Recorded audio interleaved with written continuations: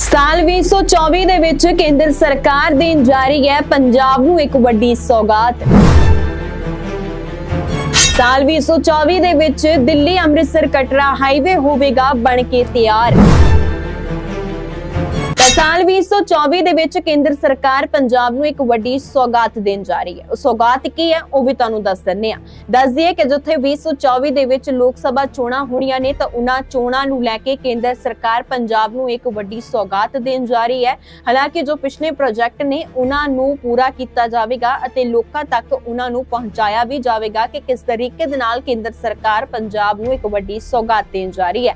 ਦੱਸਿਆ ਜਾ ਰਿਹਾ ਹੈ ਕਿ ਕੇਂਦਰ ਸਰਕਾਰ ਨੇ ਐਲਾਨ ਕੀਤਾ ਹੈ ਕਿ 2024 ਦੇ ਵਿੱਚ ਹੀ ਦਿੱਲੀ ਅੰਮ੍ਰਿਤਸਰ ਕਟਰਾ ਹਾਈਵੇ ਬਣ ਕੇ ਤਿਆਰ ਹੋ ਜਾਵੇਗਾ ਅਤੇ ਇੱਕ ਖਾਸ ਤੌਰ ਦੇ ਉੱਤੇ ਸੜਕੀ ਢਾਂਚੇ ਨੂੰ ਲੈ ਕੇ ਹੋਵੇਗਾ ਕਿ ਕੇਂਦਰ ਸਰਕਾਰ ਸੜਕੀ ਢਾਂਚੇ ਨੂੰ ਹੋਰ ਵੀ ਜ਼ਿਆਦਾ ਬਿਹਤਰ ਬਣਾਵੇਗੀ ਅਤੇ ਦਿੱਲੀ ਅੰਮ੍ਰਿਤਸਰ ਕਟਰਾ ਹਾਈਵੇ ਪੂਰਾ ਬਣ ਕੇ 2024 ਦੇ ਵਿੱਚ ਤਿਆਰ ਹੋ ਜਾਵੇਗਾ ਜਿਸ ਨੂੰ ਲੈ ਕੇ ਕੇਂਦਰ ਕੰਮ ਕਰਨਾ ਅ, ਕਰ ਰਹੀ ਹੈ ਤੇ ਕੰਮ ਕਰਨਾ ਉਹਨਾਂ ਨੇ ਸ਼ੁਰੂ ਵੀ ਕਰ ਦਿੱਤਾ ਹੈ ਦੱਸ ਦਈਏ ਕਿ ਕੇਂਦਰ ਸਰਕਾਰ ਦਾ ਦਾਅਵਾ ਹੈ ਕਿ ਪੰਜਾਬ ਦਾ ਸੜਕੀ ਢਾਂਚਾ ਸਾਲ 2024 ਦੇ ਵਿੱਚ ਪੂਰੀ ਤਰ੍ਹਾਂ ਬਦਲਣ ਜਾ ਰਿਹਾ ਹੈ। ਪੰਜਾਬ ਦੇ ਵਿੱਚ 2024-25 ਵਿੱਚ ਪੰਜ ਗ੍ਰੀਨ ਫੀਲਡ ਦੇ ਇਕਨੋਮਿਕ ਕੋਰੀਡੋਰ ਬਣਨ ਜਾ ਰਹੇ ਹਨ। ਇਸ ਦੀ ਜਾਣਕਾਰੀ ਦੇਸ਼ ਦੇ ਸੜਕੀ ਆਵਾਜਾਈ ਤੇ ਰਾਜਮਾਰਗ ਮੰਤਰੀ ਨਿਤਨ ਗਡਕਰੀ ਹੁਣਾਂ ਨੇ ਖੁਦ ਪਿਛਲੇ ਮਹੀਨੇ ਅੰਮ੍ਰਿਤਸਰ ਫੇਰੀ ਦੇ ਦੌਰਾਨ ਦਿੱਤੀ ਸੀ।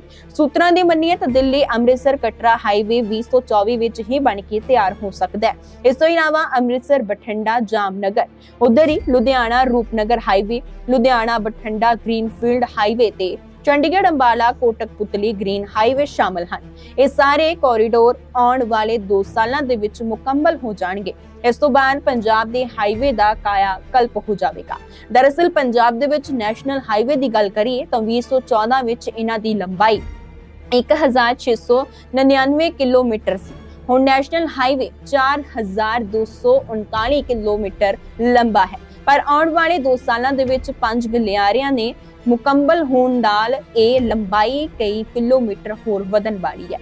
ਇਸ ਵਿੱਚ 699 ਕਿਲੋਮੀਟਰ ਲੰਬਾ ਦਿੱਲੀ ਅੰਮ੍ਰਿਤਸਰ ਕਟਰਾ ਗ੍ਰੀਨਫੀਲਡ ਐਕਸਪ੍ਰੈਸਵੇ 24000 ਕਰੋੜ ਰੁਪਏ ਦੀ ਲਾਗਤ ਨਾਲ ਬਣਾਇਆ ਜਾ ਰਿਹਾ ਹੈ। ਇਸ ਦੇ ਨਾਲ ਹੀ ਬਣਨ ਤੇ ਦਿੱਲੀ ਤੋਂ ਅੰਮ੍ਰਿਤਸਰ 4 ਘੰਟੇ ਤੇ ਕਟਰਾ ਤੋਂ ਦਿੱਲੀ 6 ਘੰਟੇ ਤੱਕ ਪਹੁੰਚਣਾ ਸੰਭਵ ਹੋਵੇਗਾ। ਇਸ ਸਮੇਂ ਦਿੱਲੀ ਤੋਂ ਕਟਰਾ ਦੀ ਦੂਰੀ 727 ਕਿਲੋਮੀਟਰ ਹੈ। ਤੇ ਇਸ ਮਾਰਗ ਦੇ ਬਣਨ ਨਾਲ ਇਹ ਦੂਰੀ 58 ਕਿਲੋਮੀਟਰ ਘਟ ਜਾਵੇਗੀ।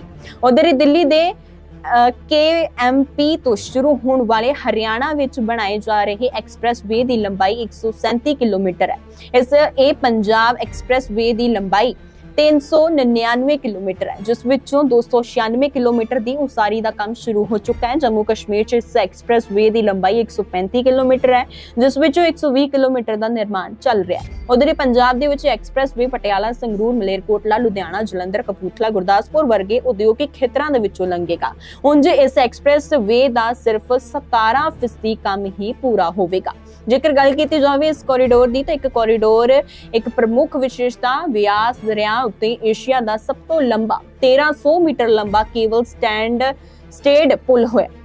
ਇੱਥੇ ਇੱਕ ਗੈਲਰੀ ਵੀ ਬਣਾਈ ਜਾ ਰਹੀ ਹੈ, ਜਿਸ ਵਿੱਚ ਲੋਕ ਸਿੱਖ ਇਤਿਹਾਸ ਬਾਰੇ ਜਾਣਕਾਰੀ ਹਾਸਲ ਕਰ ਸਕਣਗੇ। ਇਸ ਤੋਂ ਇਲਾਵਾ ਇਹ ਐਕਸਪ੍ਰੈਸਵੇ ਸਿੱਖ ਕੌਮ ਦੇ ਪ੍ਰਮੁੱਖ ਧਾਰਮਿਕ ਸਥਾਨਾਂ ਸ਼੍ਰੀ ਹਰਮੰਦਰ ਸਾਹਿਬ, ਕਪੂਰਥਲਾ ਜ਼ਿਲ੍ਹੇ ਵਿੱਚ ਸਥਿਤ ਸੁਲਤਾਨਪੁਰ ਲੋਧੀ ਗੁਰਦੁਆਰਾ ਅਤੇ ਗੁਰਦੁਆਰਾ ਗੋਇੰਦਵਾਲ ਸਾਹਿਬ ਤੇ ਖਡੂਰ ਸਾਹਿਬ ਗੁਰਦੁਆਰਾ ਅਤੇ ਨਾਲ ਦੇ ਨਾਲ ਹੀ ਗੁਰਦੁਆਰਾ ਦਰਬਾਰ ਸਾਹਿਬ ਤਰਨਤਾਰਨ ਨੂੰ ਕਟਰਾ ਵਿੱਚ ਮਾਤਾ ਵੈਸ਼ਨੋ ਦੇਵੀ ਨਾਲ ਜੋੜੇਗਾ ਤਾਂ ਬਿਲਕੁਲ ਇਹ ਵੱਡੀ ਸੌਗਾਤ ਜਿਹੜੀ ਹੈ ਕੇਂਦਰ ਸਰਕਾਰ ਦੇ ਵੱਲੋਂ ਦਿੱਤੀ ਜਾ ਰਹੀ ਹੈ, ਜਿਸ ਕਰਕੇ ਪੰਜਾਬ ਦੇ ਜੋ ਸੜਕੀ ਢਾਂਚੇ ਨੇ ਉਸ ਦਾ ਬਿਲਕੁਲ ਹੀ ਕਾਇਆਕਲਪ ਹੋ ਜਾਵੇਗਾ ਤੇ ਪੰਜਾਬ ਨੂੰ ਇੱਕ ਵੱਖਰਾ ਰੂਪ ਜਿਹੜਾ ਕੇਂਦਰ ਸਰਕਾਰ ਦੇ ਵੱਲੋਂ ਦੇਣ ਦੀ ਕੋਸ਼ਿਸ਼ ਕੀਤੀ ਜਾ ਰਹੀ ਹੈ। ਤਾਂ ਬਿਲਕੁਲ ਕੇਂਦਰ ਸਰਕਾਰ ਦੇ ਵੱਲੋਂ ਪੰਜਾਬ ਨੂੰ ਇੱਕ ਵੱਖਰਾ ਢਾਂਚਾ ਦੇਣ ਦੀ ਕੋਸ਼ਿਸ਼ ਕੀਤੀ ਜਾ ਰਹੀ ਹੈ। ਹਾਲਾਂਕਿ ਇਹ ਢਾਂਚਾ ਜਿਹੜਾ ਆ, ਸੜਕੀ ਢਾਂਚੇ ਦੇ ਪੱਖੋਂ ਹੀ ਦੇਖਿਆ ਜਾ ਰਿਹਾ ਹੈ।